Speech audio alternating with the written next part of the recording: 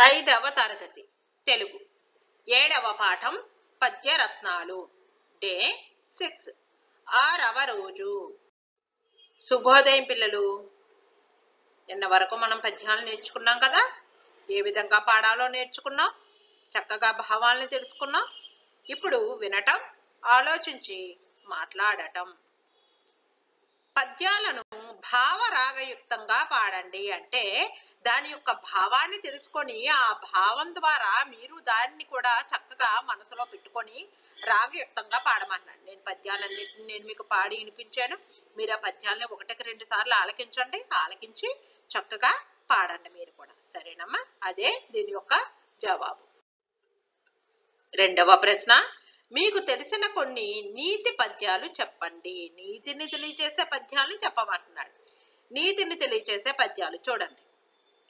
ఎలుక తోలు తెచ్చి ఏడాది ఉతికినా నలుపు నలుపే గాని తెలుపుగాదు కొయ్య బొమ్మ తెచ్చి కొట్టినా పలకదు.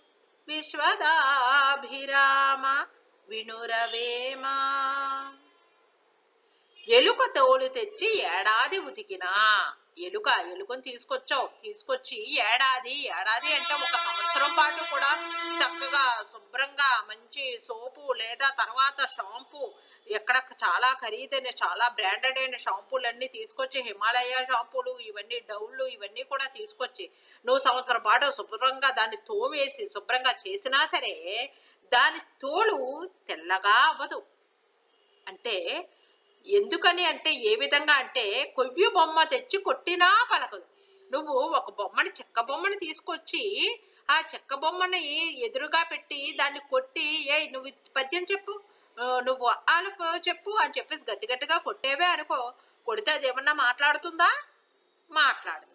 అంటే బుద్ధి సరిగ్గా లేని వాళ్ళు కానీ అంటే చెడ్డతనంతో చెడ్డగా ఆలోచించే వాళ్ళు చెప్పినా వినిపించుకోను అనుకునే వాళ్ళు అలాంటి వాళ్ళను ఎన్ని రకాలుగా చెప్పినా ఎంత చెప్పినా వాళ్ళు మారరు అని వేమన గారు తెలియచేసిన పద్యమిది. ఎప్పుడు సంపద కలిగిన అప్పుడు బంధువుల ఒత్తురెట్లనిన్ తెప్పలుగా చెరువు నిండిన కప్పలు పదివేలు చేరు కదరా సుమతి.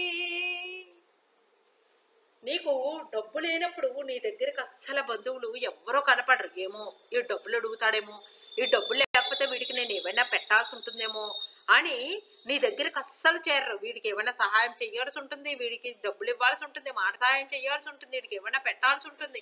అందుకని నీ చుట్టుపక్కల ఎవ్వరూ చేరరు అసలు ఎవ్వరు ఉండరు. నువ్వు నువ్వు నిజంగా చుట్టానవే అయినా సరే నువ్వు వీడు వీడు వీడు మాకు చుట్టం కాదండి వీడు ఎవడో మాకు తెలియదండి అని చెప్పేసి అంటారు. నీకు ఎప్పుడైతే సంపద అది కలిగి నువ్వు బాగా సంపాదించావో అప్పుడు బంధువులు చక్కగా వీడిని అవాడేనండి వీళ్ళండి మా అన్నయ్య గారి బావమరిది తోటుకోడలు పిన్ని గారి కొడుకుకి మేనమామండి. అంటూ ఎంత దూరంగా ఉన్నా సరే దానికి ఈ విధంగా వాళ్ళు చెప్పుకుంటూ కూడా నీ దగ్గర సంపద ఉండేటప్పటికి నీ దగ్గరకు వచ్చేస్తారు. అంటే వీడి దగ్గర డబ్బు బాగా ఉంది. ఆ, వీడి దగ్గర బాగా తినేయొచ్చు.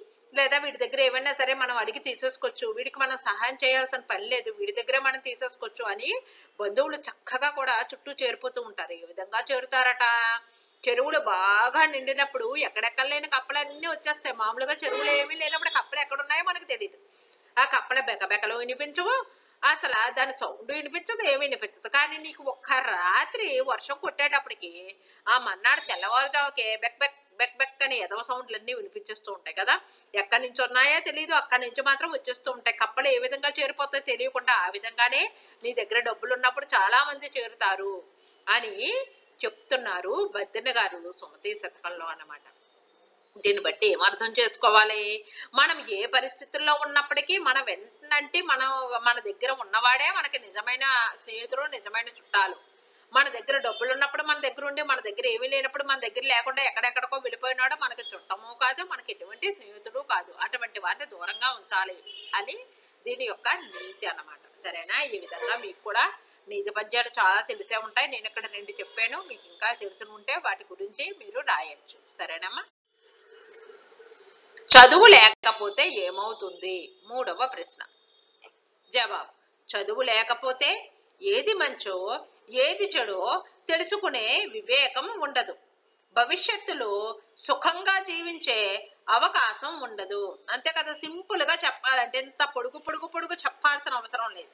ఏది మంచో ఏది చెడో తెలియదు ఎవరితో ఏ విధంగా మాట్లాడాలో తెలియదు ఎవరు వస్తున్నారు ఎవరు వెళ్తున్నారు ఏం జరుగుతుంది ఇంట్లో అన్న విషయమో తెలియదు ఇంకేమీ తెలియదు భవిష్యత్తులో సుఖంగా జీవించే అవకాశం కూడా ఉండదు.